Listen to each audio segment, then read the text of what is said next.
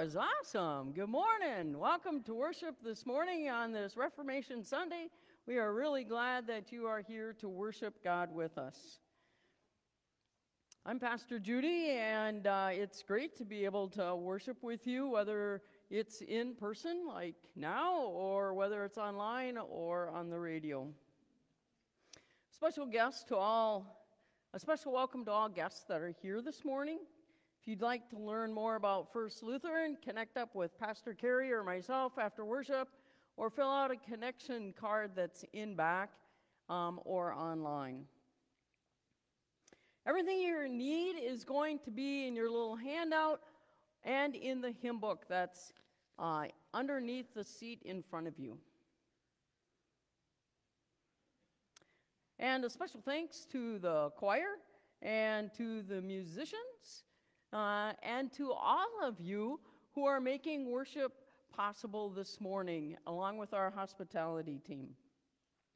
Our uh, sermon series this morning uh, continues with Hinge Moments, focusing on significant moments in our lives that have shaped our faith and our lives. Let us center our hearts to worship as we live in the name of the Father, the Son, and the Holy Spirit. Amen. Please rise as you are able as we sing A Mighty Fortress is Our God, a song written by Martin Luther over 500 years ago, who led the Reformation. I'm going to invite you to sing verses 1, 2, and 4, and the choir will sing verse 3.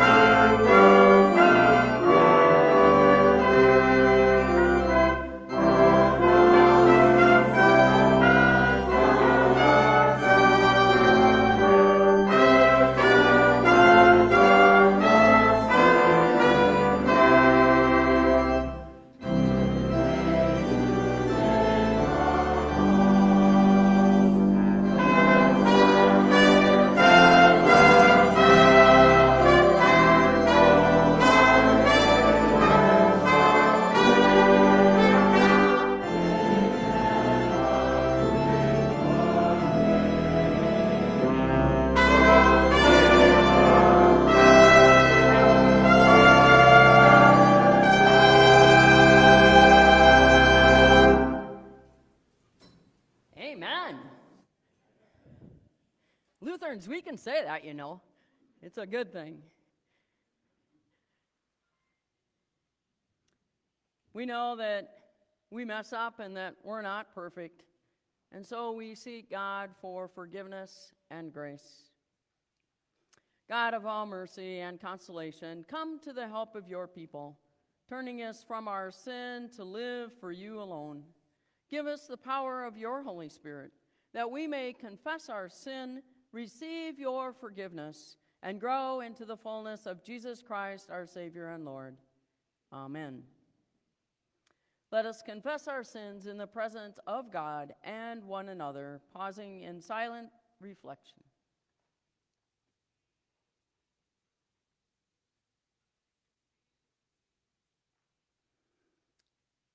Most merciful God, we confess that we are captive to sin and cannot free ourselves. We have sinned against you in thought, word, and deed, by what we have done and by what we have left undone. We have not loved you with our whole heart. We have not loved our neighbors as ourselves. For the sake of your Son, Jesus Christ, have mercy on us Forgive us, renew us, and lead us, so that we might delight in your will and walk in your ways to the glory of your holy name. Amen. In the mercy of the Almighty God, Jesus Christ was given to die for us, and for his sake, God forgives you all of your sins.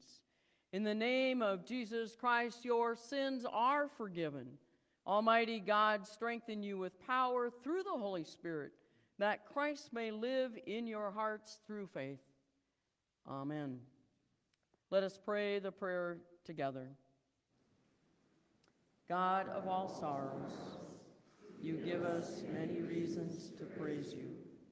Help us to recognize your majesty around us and show us your heart in this time and place that we might worship you with joy and gratitude. In Jesus' name, amen. You may be seated, and I invite the children to come forward. And if, for those of you at home, I invite you to gather your kids and join Pastor Carey as we sing, Jesus Loves Me.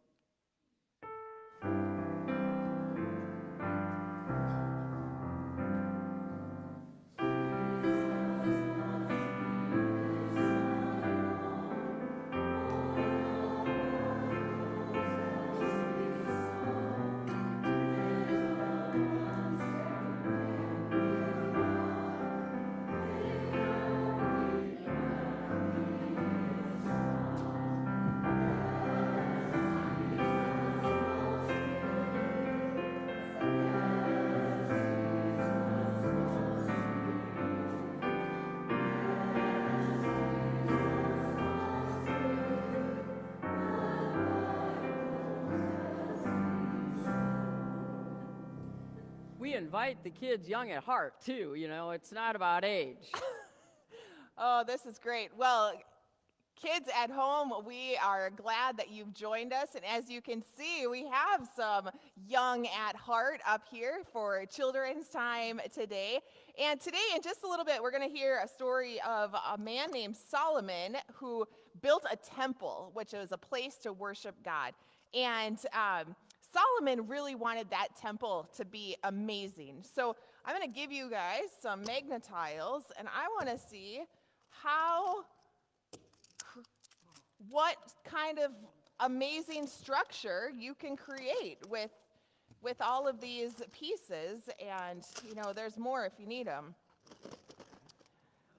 And maybe some of you guys at home have these magnetiles too, and you'll go get them and see what kind of what kind of awesome building you can create um, as you listen to the rest of worship. But in Solomon's temple, this house that he imagined for God, he made it as fancy and as special as he possibly could. And I, I doubt that any of you or any of you have uh, gold walls at home or uh, things like that. But, but when it came to that temple, Solomon just made it really, really fancy and special because he thought God deserved such an amazing place. But after many years, unfortunately, that temple was destroyed. And so it's not there anymore. It's like someone came along and wrecked Jeff's temple.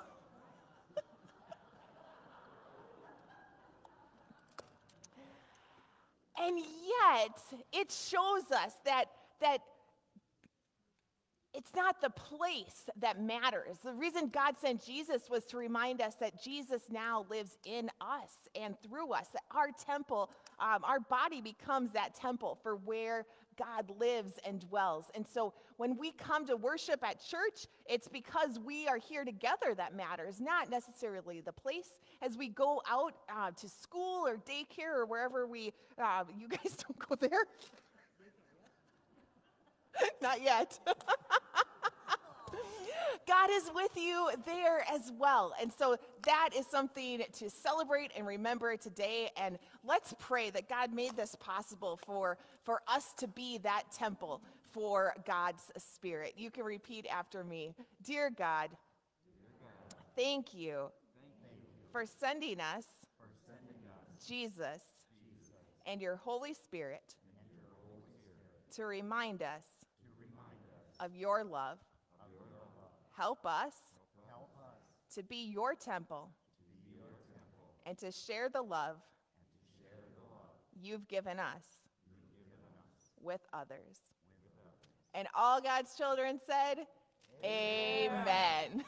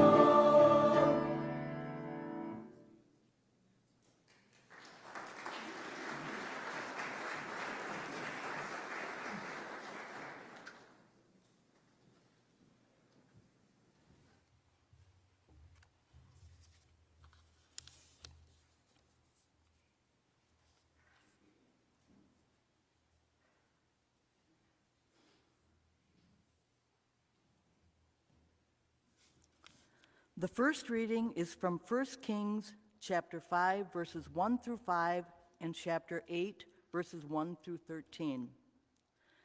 Now King Hiram of Tyre sent his servants to Solomon when he heard that they had anointed him king in place of his father, for Hiram had always been a friend to David. Solomon sent word to Hiram saying, You know that my father David could not build a house for the name of the Lord his God because of the warfare with which his enemies surrounded him, until the Lord put them under the soles of his feet. But now the Lord my God has given me rest on every side. There is neither adversary nor misfortune. So I intend to build a house for the name of the Lord my God, as the Lord said to my father David, Your son, whom I will set on your throne in your place, shall build the house for my name. Then Solomon assembled the elders of Israel and all the heads of the tribes, the leaders of the ancestral houses of the Israelites, before King Solomon in Jerusalem to bring up the ark of the covenant of the Lord out of the city of David, which is Zion. All the people of Israel assembled to King Solomon at the festival in the month of Ethanim, which is the seventh month. And all the elders of Israel came, and the priests carried the ark. So they brought up the ark of the Lord, the tent of meeting, and all the holy vessels that were in the tent. The priests and Levites brought them up. King Solomon and all the congregation of Israel who had assembled before him were with him before the ark, sacrificing so many sheep and oxen that they could not be counted or numbered.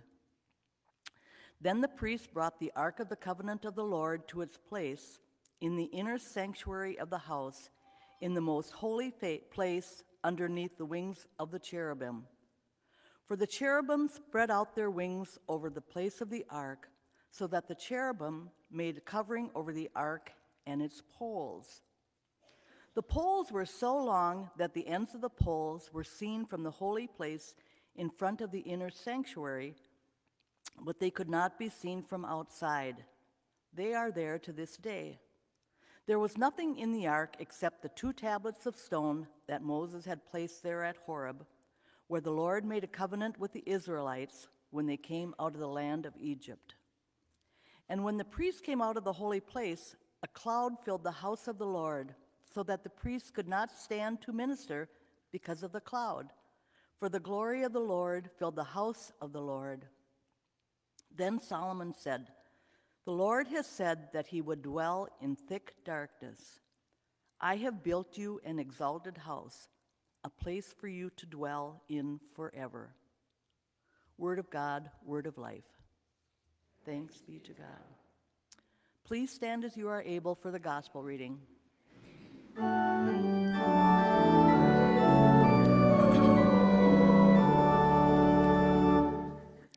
Holy Gospel according to John, chapter, chapter 2, verses 19 through 21. Jesus answered them Destroy this temple and in three days I will raise it up.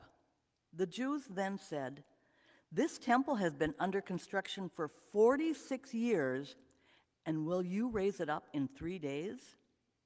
But he was speaking of the temple of his body. The Gospel of the Lord.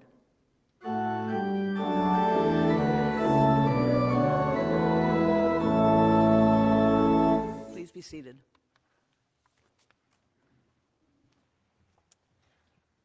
Well, good morning. I'm Pastor Carrie, and it's great to have you with us for worship this morning. Well, as Pastor Judy mentioned at the beginning of our worship, uh, today we are wrapping up our sermon series called Hinge Moments.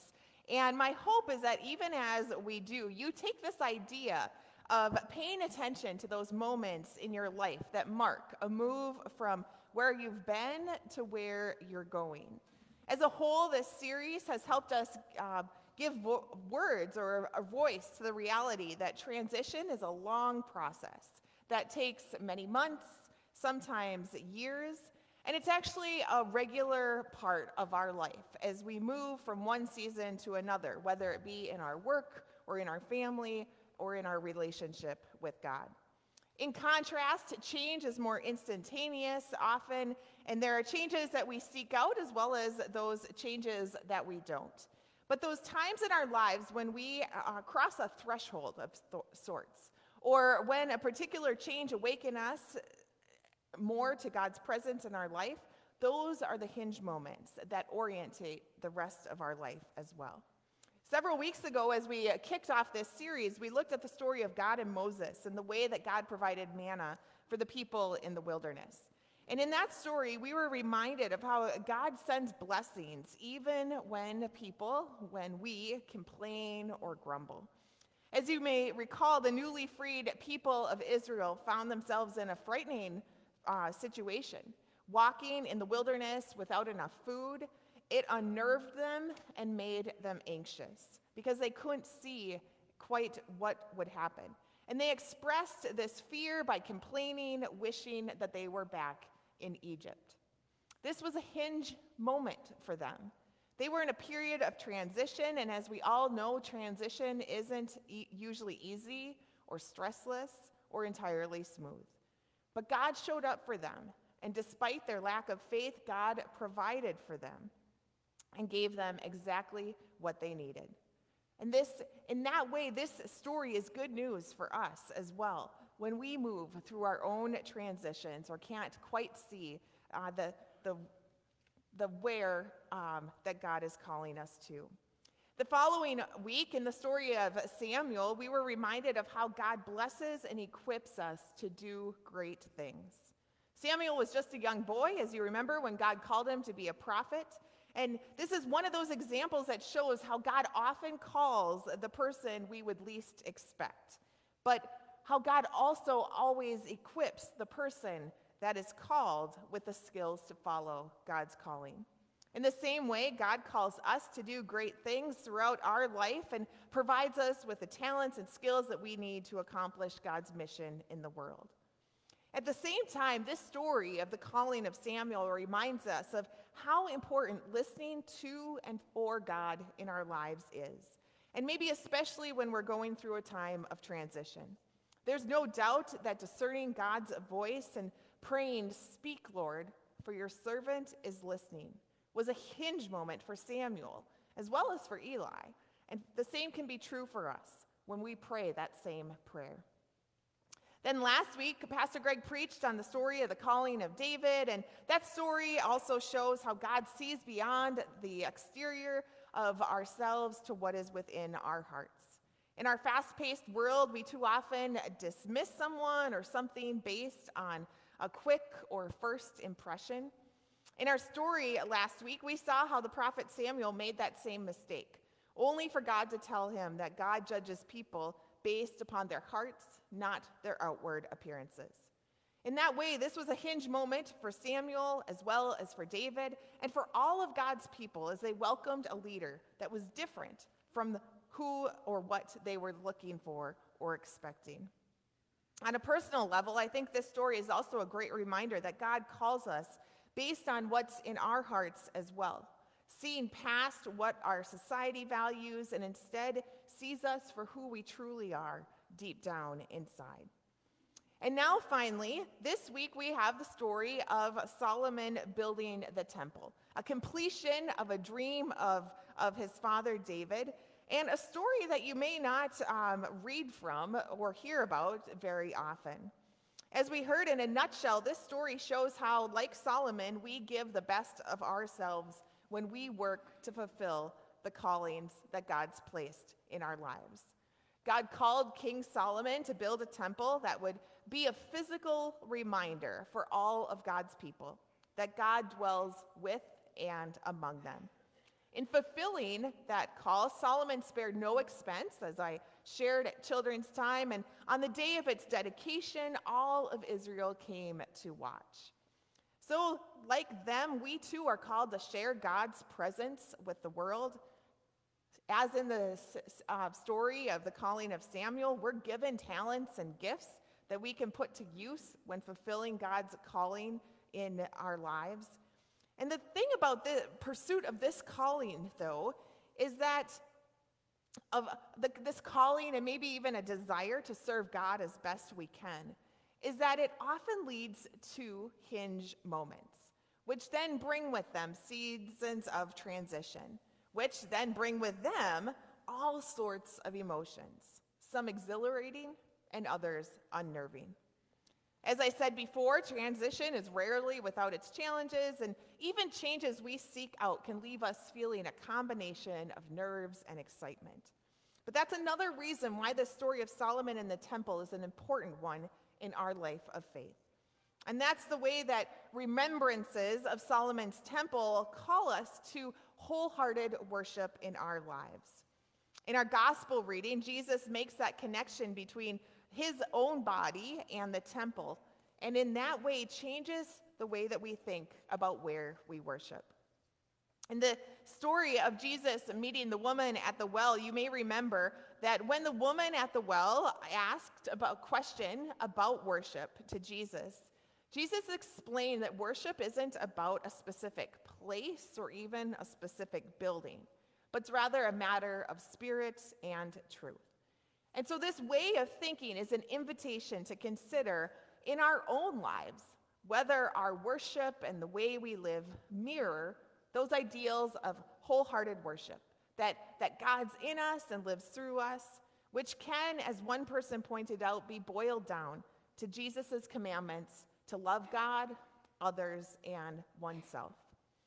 In that way, I can't help but think that the invitation in our story this morning is to think about the way that we worship and that greatest commandment and how it can guide us and center us through times of transition and change.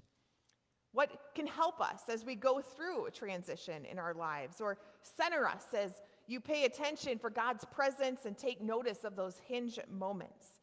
Those moments when God is doing a new thing or inviting you to transition from where you've been to where you're going, a new reality or future, perhaps. There's no doubt that there are many spiritual practices that can guide us in this work. There's the practice of examen, where you spend a bit of time each day or week reflecting on where you've seen God, what has been life giving, and where you feel challenged, and then bringing those things to God in prayer. There's the ancient practice of lectio divina or contemplative reading, where you read a passage of scripture a few times with some silence in between and, and consider what God might be saying to you through that passage. There's the simple yet not easy practice of mindful breathing, in which that the invitation is to focus our breath on, on just on the simple and the simple way that that um, helps us connect to the one who gives us breath and helps us connect with God's presence in our life. And there are, of course, many others as well. Yet today, what I want to leave you with this morning is something you may not um, have thought of before. It's something that isn't necessarily a spiritual practice, but it is something that influences how we look at the world and those around us, that might even awaken us more to the presence of God in, with, and among us as we navigate times of transition and change in our lives. And this this idea that I'm leaving you with is, is based on a video that I recently saw featuring uh, um, Benjamin Zander, who is the director of the Boston Philharmonic Orchestra. In that video, Zander explains to um, his audience his teaching philosophy. And basically, what he says is that when I teach in my classes, everyone gets an A. And the way that he unpacks that is by on the first day of class or, or maybe the second day, he has each of the students write a letter. And he has them start out, Dear Mr. Zander. He has them date it the end of the term. And then in their letter, he asks them to describe for him why they deserve that letter grade of an A. And then he says, I teach the students described in those letters. As I, and then he followed that up by saying, and so therefore I only teach A students. Well, as I watched this video, I, find my, I found myself inspired and even a bit challenged by Benjamin Zander's philosophy. And how at one point in the video, I, I resonated when he explained how he viewed his job as awakening possibilities in others. And this notion, like I said, definitely spoke to me, and, and his philosophy definitely brought out the best in his students. But it also made me wonder well, what difference might it make if we had Benjamin Zander's philosophy in mind in our interactions with others as well?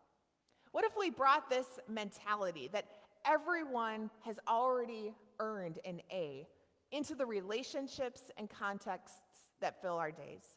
So often we can be critical and we, we nitpick and we f- focus on and what's not the way we want it, even in our own lives.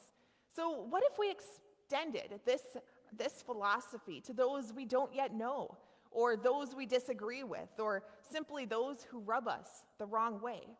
That they're already complete, that they already have what they need to, to be the person God's created them to be. And then what difference might it make in being able to recognize God and to live into God's calling of loving God with all we've got and loving our neighbors as ourselves if this was the approach we brought to the world? It might not surprise you'd hear me say this, but what if we first extended this to ourselves as well?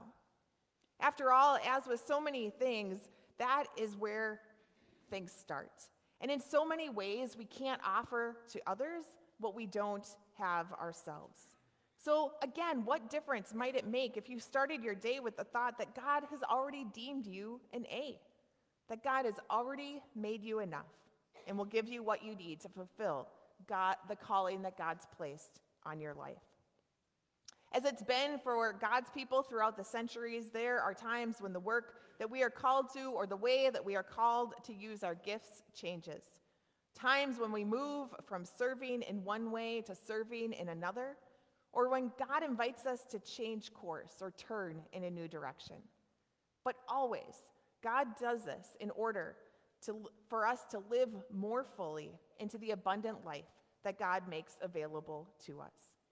And so, no matter what particular way we serve God or live out the calling that we've received, our first and foremost calling is always this beloved child of God. And the way I see it, this is our shared calling as well. The one that is defined by loving God with all our heart, soul, mind, and strength, and loving our neighbor as ourselves. When we do that, we can embrace all the transition and changes that come our way with a spirit of openness, with trust and confidence, knowing that God is leading the way and God will provide. So, with that in mind, I want to leave you with this thought by St. Francis de Sales, who writes Do not look forward to what may happen tomorrow. The same everlasting Father will take care of you tomorrow and every day. Either he will shield you from suffering or he'll give you unfailing strength to bear it. So be at peace. Put aside all anxious thoughts and imaginations and say continually, The Lord is my strength and my shield. My heart has trusted in him, and I am helped. He is not only with me, but in me, and I in him. In the name of Jesus, amen.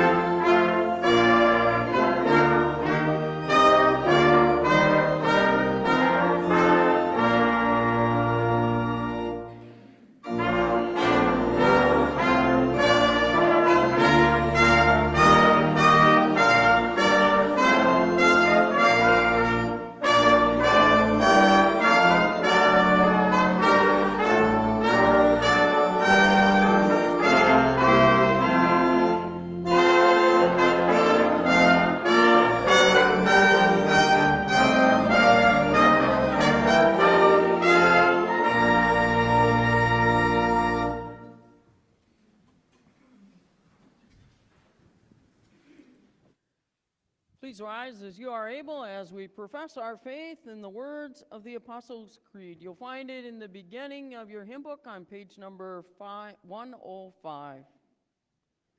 Together. I believe in God the Father Almighty, creator of heaven and earth.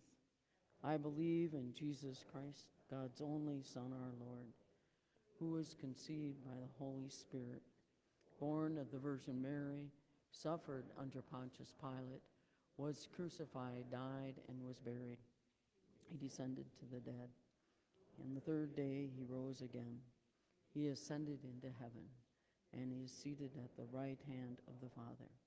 He will come to judge the living and the dead. I believe in the Holy Spirit, the Holy Catholic Church, the communion of saints, the forgiveness of sins, the resurrection of the body, and the life everlasting. Amen. Recognizing that we can't do it alone, we turn to God in prayer. After I end my petition with, Lord, in your mercy, I invite you to say, Hear our prayer. God, as your people and as a church, we drift and we lose our way. Continually draw us back to you and shape our hearts and our lives.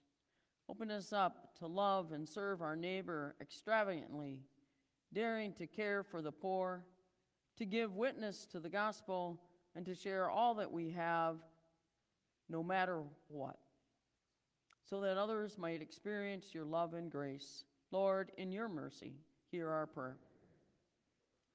You have blessed each one of us within this faith community and beyond with many different gifts gifts of hospitality, of leadership, cooking and baking, organizing and music, helping others, listening, teaching, creativity, communication, technology, medical skills, problem solving, planting and growing and harvesting, praying, caring, advocating, comforting, and oh, so much more.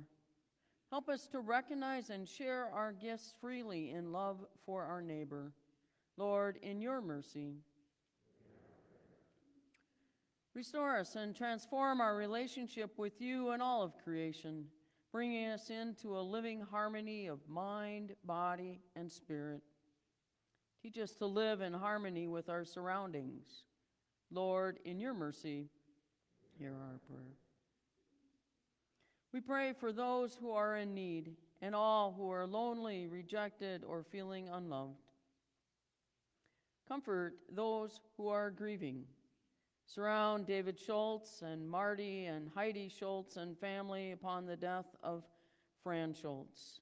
Comfort them as they grieve their loss. Lord, in your mercy, may your presence be known to those who are ill.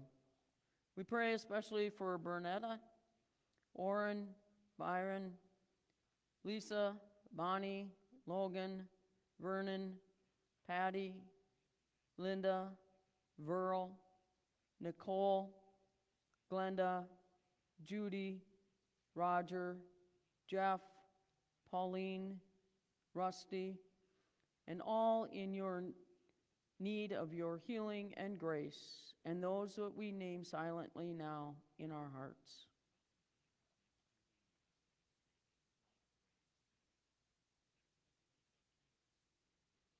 Bring healing, hope, and strength to all. Lord, in your mercy. Lead us by your Spirit and send us out with courage and hope to share your love and grace to all. Trusting in your promises, we lift these prayers to you. In the name of Jesus Christ, our Savior and Lord. Amen. You may be seated. During our offering time today, I'd like to take a moment to say thank you. Thank you so much for your generosity and for your engagement over this past year. Thank you to each one of you who have turned in your plan for giving uh, forms for this coming year. I, if you haven't already done so, it's not too late. You can place them in the offering boxes um, outside in the worship, uh, in the gathering space. Each fall, we ask you to help us make a plan for the coming year, and we know that there are many good organizations out there that are vying for your attention and your support these days. So we do not take it for granted. We don't take your support at all for granted, and we don't take you for granted. So we are still receiving these plan for giving and if by chance you haven't gotten one of these packets, you can find it at the Welcome Center that's out there um, or online. At this offering time, I'd also like to take a little opportunity to let you know how your support makes a difference as I, your pastor of congregation care. Now, I don't do all the pastor congregation care. We've got Pastor Carey and we've got Pastor Greg, and other people that help with the care of individuals and families within this community. And so we're thankful for that, and your support makes that possible. So often I visit individuals who are going or have gone through some difficult challenges in their lives.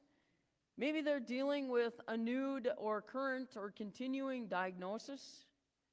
Maybe they've lost a loved one or they're experiencing transitions like Pastor Carey talked about, and how some of those uh, transitions really are hinge moments in our faith.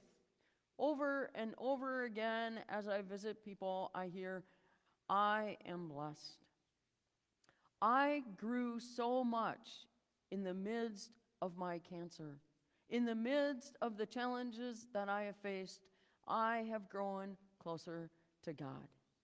I have this wonderful opportunity closer to God. I have this wonderful opportunity to hear faith stories and how God has made and continues to make a difference in the lives of so many people. Yep, God is faithful, and God is with us in the midst of difficulties, in the midst of transitions, in the midst of loss and grief. God journeys with us. I also get to see how God showed up and how God continues to show up. One day I visited somebody and flowers had showed up from First Lutheran Church. And it was a member who had been caring for this person during COVID by just making a phone call. Those phone calls, those cards sent, the invitations to be able to come and visit, to help, to care, to share, to be there, to be a listening um, ear. And sometimes just to be present makes all the difference in the world. So thank you for your generous support in this ministry and all the many different ministries. It's because of you lives are touched and changed and hope is shared. We couldn't be prouder to be church with you together. Together, we lift these gifts to God in prayer. God of all creation, all you made, and your love endures forever.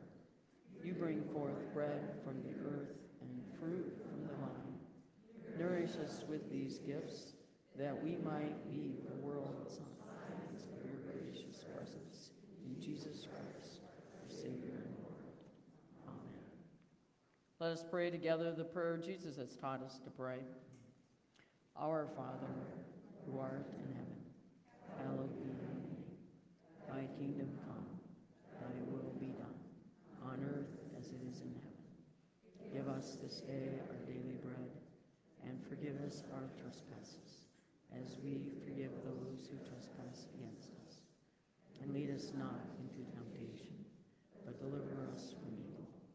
For thine is the kingdom, and the power, and the glory, forever and ever. Amen. As you leave this place, go forth with this blessing. May the Lord bless you and keep you, the Lord's face shine upon you with grace and mercy, and the Lord look upon you with favor and give you peace. In the name of the Father, the Son, and the Holy Spirit. Amen. There's a lot going on here, but first of all, I'd like to uh, say thanks to Carol uh, Rydell and family for sponsoring the radio broadcast in memory of Tim Rydell, and for Dwayne and Judy Berger sponsoring today's live streaming in honor of their 50th wedding anniversary. Like I said, there's a lot going on. So today is the last day to sign up for Concordia Christmas concert on December 4th. And in order to make this trip happen, we need to be able to have six more people join this, uh, this trip and uh, being able to hear the Christmas concert. Um, and we need that uh, by 9 o'clock tomorrow morning. Otherwise, this uh, trip to hear this great Christmas concert will not be able to be possible. So, if you already signed up, invite a couple friends. I mean, if six of you would each invite one more person along, we'd be able to go. So, 9 o'clock tomorrow morning, uh, call Greg T. And then tonight is Trick and Treat at Calvary. Thanks for all your candy donations and for sharing your truck trunk and for greeting kids tonight and sharing treats. And then stay informed with what's happening and plan to attend the congregational update that's happening on, on November 7th to learn more about the, where we are in the call process, our finances, and the proposed 2022 budget. Now, I know that finances and budgeting are not probably your number one thing that you want to attend, but it's really, really important. So show up.